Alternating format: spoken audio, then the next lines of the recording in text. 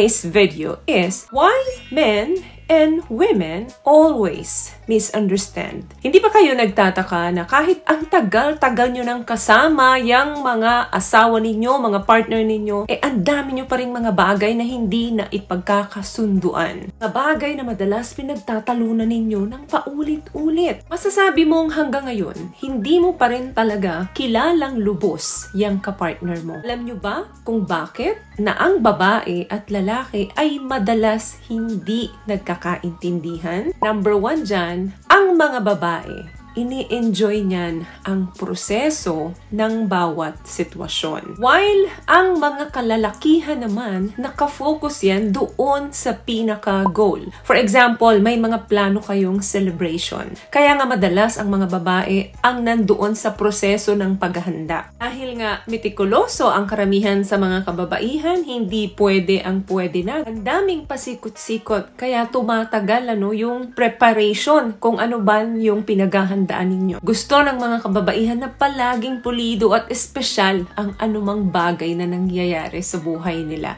While ang mga kalalakihan gusto niyan, straight to the point, diretso sa goal. Kaya doon na nagkakaroon ng misunderstanding. Pangalawa, ang mga kababaihan, mahilig yan sa romance, okay? While ang mga kalalakihan, gusto niyan diretso sex. Kung karamihan sa ating mga kababaihan, gusto natin ng mas mahabang foreplay, ang mga kalalakihan ay iba. Kung po pwede lang, straight yan diretso agad sa kama. Isang minutong halikan ka lang ng lalaki, gusto niyan, diretso na. Ang kababaihan, karamihan, ay nandoon sa opposite side. Gusto nila slowly but surely. Pangatlo, bibigay lang ng sex sa'yo ang babae kung meron siyang feelings or emotions sa'yo. Kung baga, nauuna ang emotions bago ang sex. While ang mga kalalakihan, kabaliktaran. Nauuna ang sex dyan bago sila magkaroon ng emotions doon sa mga babae. Kapag hindi nga natin pinagbibigyan ang mga kapartner nating lalaki, di ba?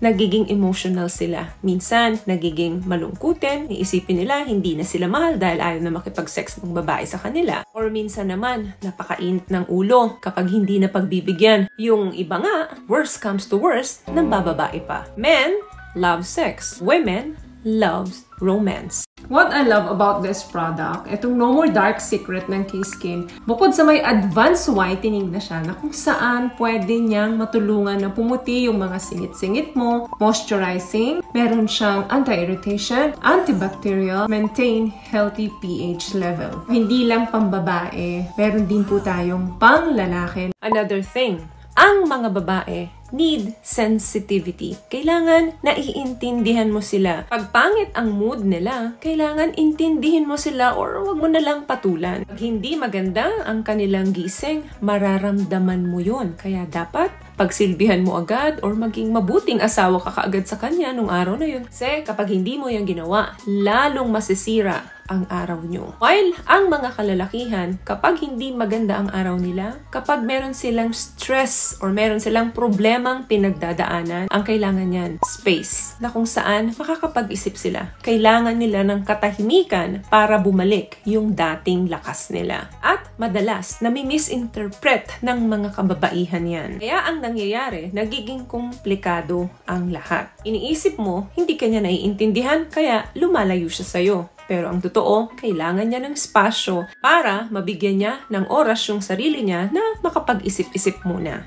Panghuli, ang mga kalalakihan, authoritative yan. Gusto nila may authority sila sa lahat ng bagay. Ang kanila ay kanila. Kasi may ego and may pride sila na pinoprotektahan. Lalaki sila at sila dapat ang laging masunod. While women have intuition. Anong ibig kong sabihin dito? Minsan, sa kagustuhang maging authoritative ng mga kalalakihan, pilit nilang gino-justify yung mga bagay na alam naman nilang may mali na. Ang mga kababaihan, may gift yan na meron talaga silang special pagdating sa intuition. So, kahit minsan, nagpapalusot ang mga kalalakihan, nararamdaman ng babae yan kung ito ay nagsisinungaling. Kaya ang mangyayari, pilit mong ipagtatanggol bilang lalaki pinapalaki ang sarili mo dahil ikaw ay authoritative, dahil gusto mong protektahan ang ego and pride mo. Pero ang babae, alam niya na yung katotohanan. Kasi nga, specialty ng mga kababaihan ng intuition. Kaya kahit nagsisinungaling ka,